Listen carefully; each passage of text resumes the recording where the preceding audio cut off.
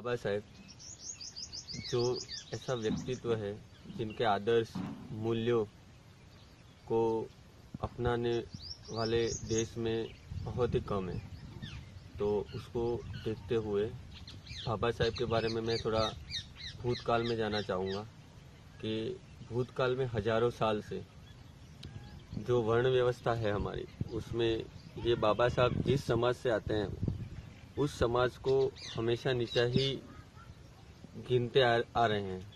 जब बाबा साहेब जिस समाज से आ रहे हैं उस समाज में से जब उन्होंने एक अभ्यासी विद्यार्थी और बहुत ही विद्वान बने पढ़ने लिखने के बाद तो उस समय मैं जब तक मानता हूँ तब तक देश के अंदर सबसे ज़्यादा अगर कोई डिग्रीधारी विद्वान है तो वो बाबा साहेब हैं।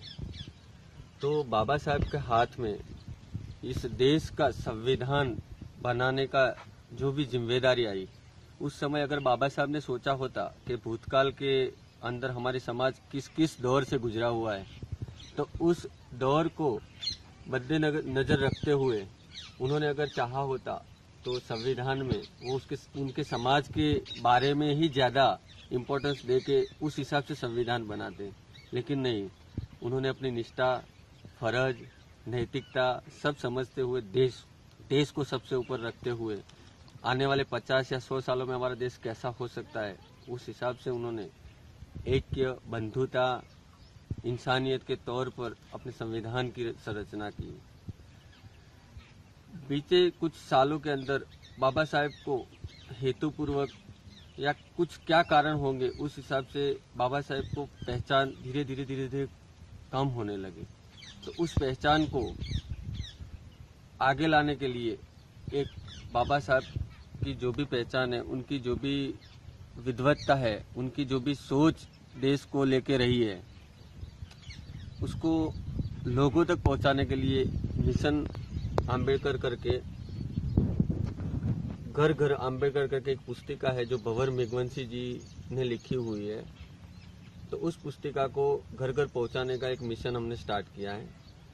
तो उस पुस्तिका को लेके आज हमारे आदरणीय हरि काका के घर आना हुआ है।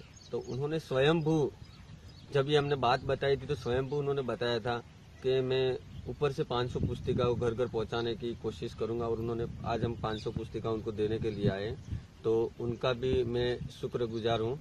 कि बाबा साहेब का जो भी सपना है और उनकी जो सोच विचार लोगों तक तो पहुँचाने का बीड़ा उठाया है उसके लिए शुक्रिया अदा करता हूँ।